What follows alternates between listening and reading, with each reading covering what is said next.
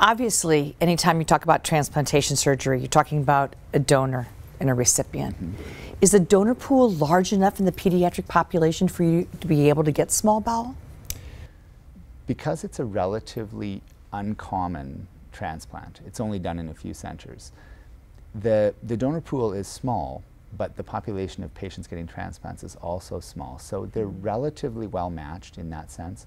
The challenge becomes if your recipient is very small, if it's a two-year-old child or a one-year-old child who only weighs 10 pounds or 12 pounds or 14 pounds, we typically have to get organs from a donor that's half to two-thirds the size of the recipient. Just because of sheer volume. Just to physically fit it in, because our tummies, we count on having intestines to hold our abdomens open. And if we've lost our intestine, then our abdomen shrinks down to, to that smaller space. So then we don't have any room to put anything in.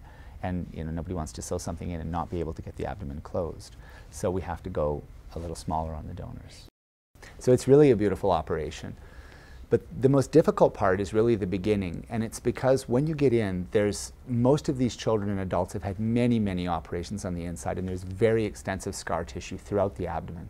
Sometimes it's hard to tell where you are or what you're looking at when you start, but you know, you find the path. You find a little bit that you know, and you can follow it, and one thing leads you to another, and eventually you get to a point where you've removed, in some cases, everything and you're looking at an abdomen that's just this clean open field with major blood vessels running in the back of it where the blood's flowing. Then you bring in this new fresh organ which is cold to the touch, you know, it still feels ice cold, it's come out of the preservative solution.